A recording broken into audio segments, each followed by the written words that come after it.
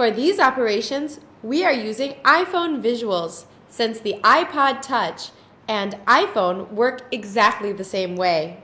To find YouTube videos, first tap YouTube on the home screen.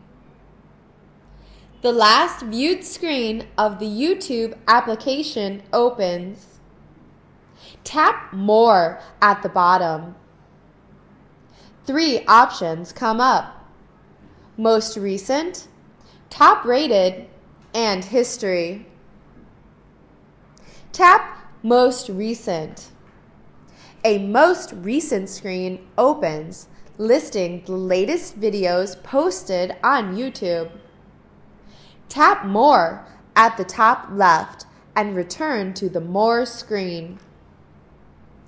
Next, tap Top Rated in the More screen. A list of videos most highly rated by viewers appears. Incidentally, you cannot rate a video while watching it on your iPhone. Tap More at the top left and return to the More screen. Tap History. This lists videos you've most recently watched on YouTube.